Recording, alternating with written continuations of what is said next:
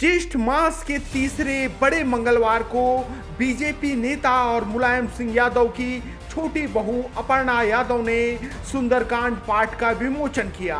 अपर्णा यादव ने सुंदरकांड के पाठ को अपनी आवाज़ में किया है। इसके साथ ही दिवंगत संगीतकार आदेश श्रीवास्तव ने इसका म्यूज़िक तैयार किया था।